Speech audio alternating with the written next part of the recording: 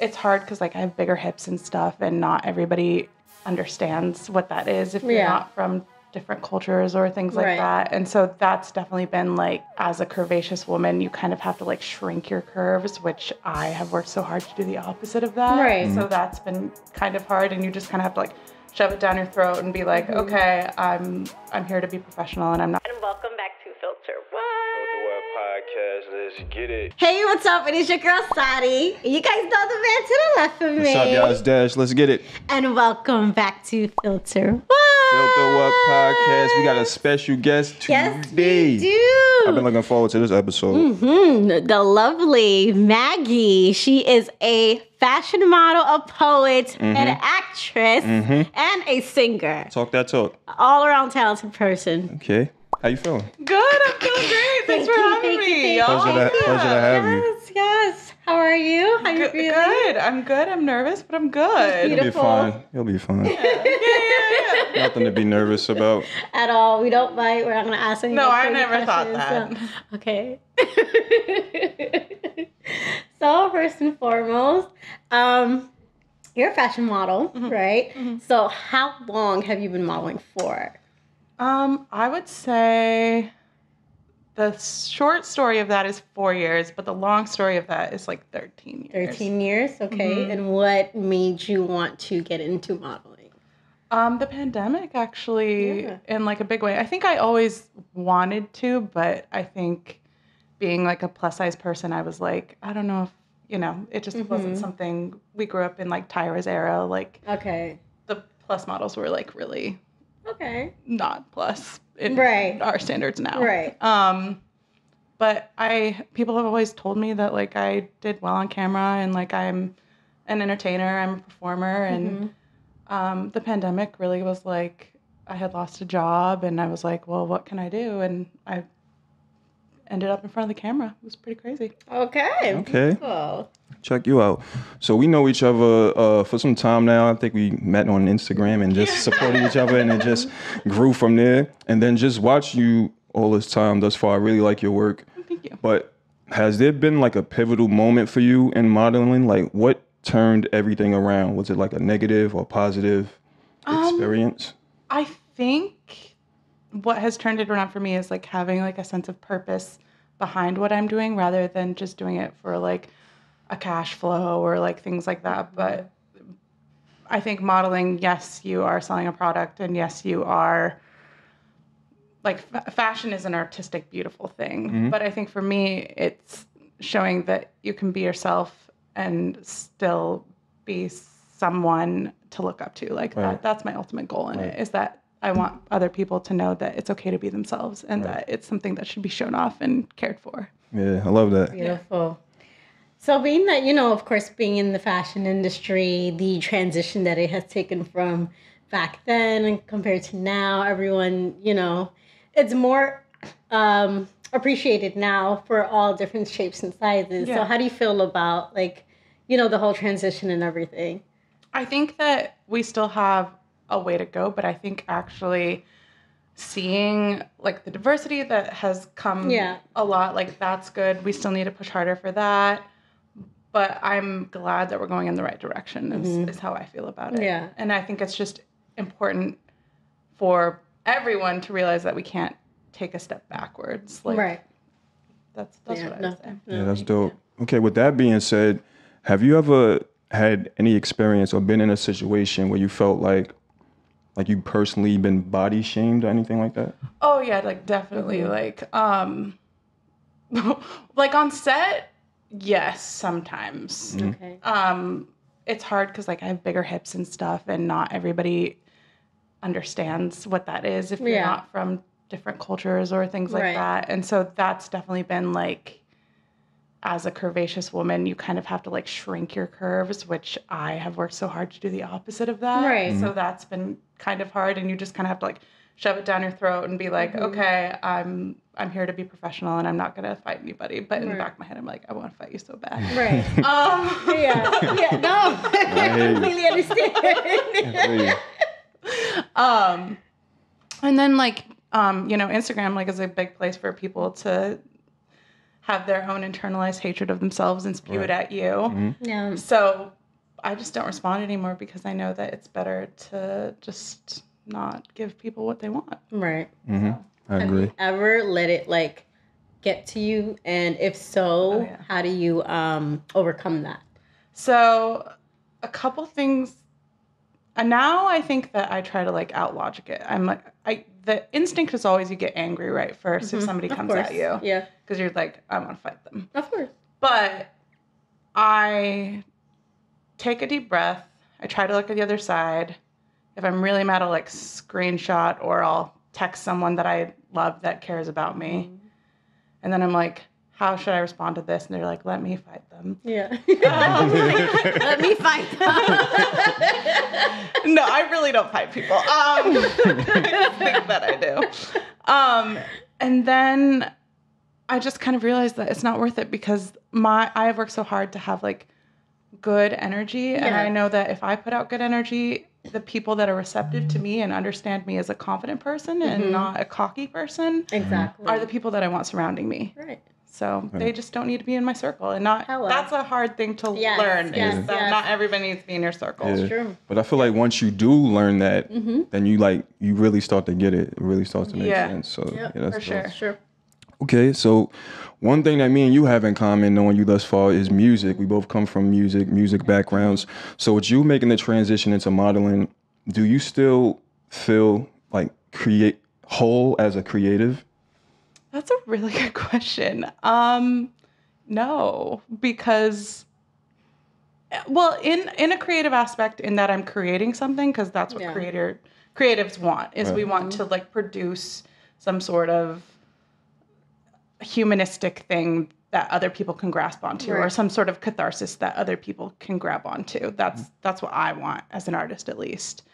Um but music because that was like my first love like i started music when i was like two years old. Like i Okay. it's always been like a big thing in my brain. It's what i went to school for. Right. um i think because i was like in such a structured part of the musical world i wasn't able to be as creative as i wanted Mm-hmm. and now knowing that there are other outlets to that i'm exploring that a little bit more but i think i still need that musical aspect of myself because it is such a big part of who i am Mhm. Right. Yeah. Okay. Would you say being in the fashion industry and you know being a singer as well is it more difficult to be, be being a model or an artist? That is a great. I feel like they're very similar actually in the d- level of difficulty. Only in that you can't choose in in like because I'm a singer. Yeah. I can't decide if somebody likes my voice. I can't decide if somebody likes the way I mm-hmm. look if I'm modeling. Like that is an objective and opinion. Right. So I don't really have any control over that. All I can control is how I'm feeling about me through my voice, through my music, or through my modeling and through my body. Right. So it's both worlds have the my creativity doesn't depend upon me really. It depends on how other people perceive it. Mm-hmm. And that's kind of hard. I like that. That yeah. Yeah, you have to like really let go Yeah. and That's just true. trust. And that's hard. It's hard to let go. You're absolutely right. We're like this. no, you're Yeah. absolutely right. I like I like the way you put that. Yeah. So if you had to choose to be at the zenith of either or, if it was modeling or like your music career, She's like, oh god. which one would you lean into? I would say music, but only because I feel like it can reach so many more people. Music. Yeah. Like if you you can see an image and it can really touch your heart and soul, but I don't unless it's like like Nipsey's standing here like you mm-hmm. walk in and see that every day. That does speak to your heart and soul because he is someone that has profound knowledge or had still has it. yeah. Whatever you believe. Um but I think songs are like timeless. Like I Yeah. there's still songs from before like time that like we know like Mhm. so that kind of way that you can change people's hearts with like Mhm. just like Just that like is that, pretty yeah. amazing Yeah. Okay. Beautiful. So you also act. mm-hmm. Okay. So where did that all come in? And yes. So it's it's funny because I was really shy growing up. okay. Um, and singing and acting actually were the thing that got me kind of out of the box because my Okay. friend was like, "You should audition for this musical," and I had just done like piano and singing in choirs and like things like that. So you're kind of like in the background, Mhm. not really center stage. Right. And I was like, "This is crazy. I don't want to do this." But I, for whatever reason, because if you don't push yourself to do things, you never learn anything new That's true. That's true. um, I did it, and then I was like, "There's this whole other side of me that allows me to be creative in being a different character, being bringing words that people have written to life, which is the same with songs too." Mhm.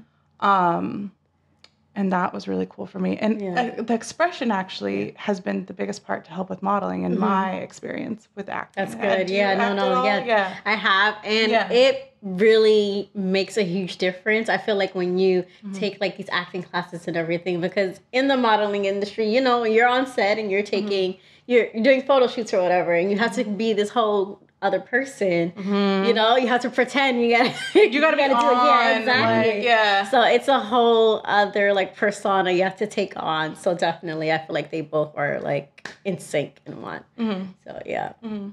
yeah. Okay. All right. One thing that I really like about you and appreciate about you is that I feel like you're culturally in tune. So, growing up from where you grew up, Yeah. um, how was that, and, and like, what makes you view the world the way you view it? So it's kind of funny um cuz I did grow up in a very like homogenous like one type of people Mhm. culture like Idaho is very white. Um but I'm mixed. Mhm. And so there was always like I was I felt like I was kind of fighting myself all the time because I knew I didn't really fit in, but I had to. So, you know, that's where the acting came into Yeah. play. Like I kind of acclimated myself into this culture that never really felt like it was a part of mine and then that helped me realize like how important culture is and I and then I took a class in college actually that was called race culture ethnicity Okay. Okay. but I've always loved hip hop and rap and stuff too so that mm-hmm. that was Yeah. a big thing Yeah. but also like as a child I was very like aware of things like I remember being in like the store and I was like where's a black Ken doll and Yeah. like Oh, that's good. uh, like it, Yeah, like and I made my mom go to like six different stores wow. because I was like this this because I had like a black uh, Barbie and I was like she needs a man Yeah. but like obviously Yeah. like interracial couples like that's Right, fine exactly. but um but I was very like I was like that's not okay that this Yeah. doesn't exist Wow. Right. um so then when I took that class in college I was they talked about kind of um like the structures of oppression that are in our society and I was like I even I wrote like this essay on how I know that um, cosmetologists only learn how to do white hair, and I don't even know how I knew that. I j- it's just like something that I've always been like Yeah. super hyper aware of, and I think part of that is my empathy because I I'm very empathetic, and Mhm. I always am like looking at people and like thinking like how would I feel if I was in their shoes, Right. Exactly. um, and so then when I finally made the move to the East Coast and was like finally immersed in like the diversity that I had kind of been craving my entire life, I was like, this is this feels right. Mhm. And it can be hard. Like it's it's very hard to be in a diverse society. Like that's that's proven. But I think that the challenge is worth it because if we can all learn to love and accept each other, then that then we can all grow in the same monetary way and things will be equalized and they just haven't been for thousands of years Yeah. Mhm. and it's frustrating Yeah. Well, definitely. It, it is. Yeah. I agree. a hundred percent. so I, I don't know Yeah. if that answers your Yeah. Question yeah, okay okay, so um, coming where you come from, uh, how did your like parents or your support system take you getting into like modeling and singing and being in the whole entertainment industry? Um, so singing was like pretty easy for my parents to grasp, even though my dad um, is a scientist and my mom Oh, nice.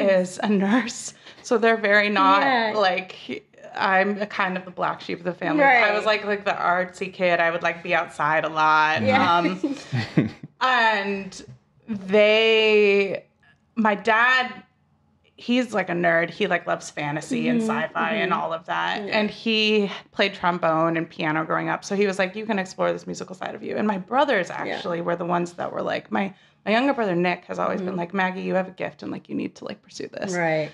So because they really believe in that aspect of me, which is kind of sad that I didn't at the time. Um, now that I'm thinking about, it. but I they kind of just let me pursue music, and then when modeling happened, there was like a little bit because my my parents are my dad's really Catholic and my mom is like whatever, but she's very she's like pretty prudy, like. I'll like show up in a crop top and she's like, Where's the rest of it? right, right. She's like, do you really want to wear that? And that and a lot of my body shame came from that Yeah, too, growing yeah, up. So, but that's okay. I like have moved on from that. Yeah.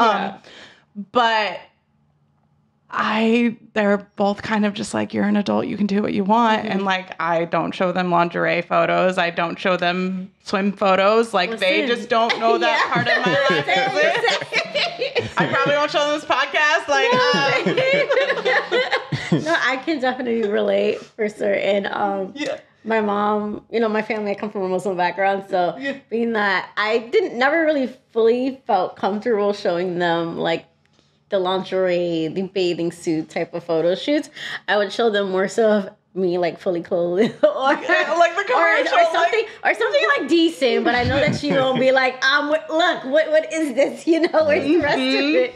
So I completely understand. Well, and we're like Yeah. adults, but we're still like, no, I don't want to get in trouble with mom. Exactly. I feel. Because to them, I mean, you're still their baby at the end of the Exactly. day. Yeah, that's true. Exactly. exactly. oh man All right. So with everything that you do, what is like the thing that you want to leave behind for people following in your footsteps? Um, I just want people to look at people as human beings and not as what they look like. I, and I want them to treat each other the way that they want to be treated. Like Right. that's what I that's what I try to live by and that's what I think if more of us lived by, man. we would be better as a society, society Absolutely. as a world. Absolutely. hmm Yeah. I agree. So that's what I want. Okay. And what advice would you give to anyone that's trying to like, you know, be in the fashion industry, be a singer, an actress? Um, it's hard. And you really have to believe in yourself. And there will be times when you want to give up and delete everything and go live in the woods Yep. and not talk to anybody. Yeah. But then you have to remember that we're all here for a reason. At least I think so. Yeah. And that you matter. Definitely. And that your dreams matter. And the time is now. yeah. I love that. I Love that. All right. Okay. All right. So now we got a game for you. Yeah. Fun, fun game. It's just basically a one word answer. So we're gonna spit out some questions. The first thing that comes to mind, one word. Shoot. It's not a right or wrong answer. The so it first thing that comes to Yeah, yeah, yeah. You ready? Yes. Okay. Favorite thing about New York? The culture. okay. Favorite thing about where you grew up? The nature. Name one song to sing at karaoke night. Zombie by the Cranberries. okay. It really brings down the mood, but it's It's fine. I mean, it's okay, came. It's okay. Okay, name a celebrity crush. oh no, um, Ryan Gosling right now. I've been, I've been into him. Okay. Okay. The strongest thing Oh no, about Pedro Pascal. He's been okay. Okay, Anyway, it's fine. Change it. It's okay. Okay. Strongest thing about you. my mind, Okay. Weakest thing about you. my heart. If you could time travel to any year, which year would it be? Um, night, two thousand and. No, I have no idea now. Let's live here now. I don't Okay. know. Okay. Uh, favorite food. Mexican. Okay. okay. All right. Maxine. That was hard, really. It's hard for me to like think on the Oh, oh spot. oh, oh, Yeah. okay. No, it was good. It was good. It was good. Well, it was a pleasure having you on the show. Thank you for coming on. Yeah, Yes, thank you so your story. much. Nah, you Really appreciate it. I yes. really appreciate you coming. We was really looking forward to you yes. being on the show. I love everything that you've done, and I'm encourage you to keep going, and Thank you. even when things get hard. Thank Appreciate you. Appreciate that. Thank you. So where can people follow you? Um, I'm on Instagram, Scorpio Singer, and that's really it because I haven't built up my TikTok. Okay. no problem. okay, well, there you have it. Thank you guys for tuning into Filter What. We're out of here. Appreciate y'all. See y'all at the next video.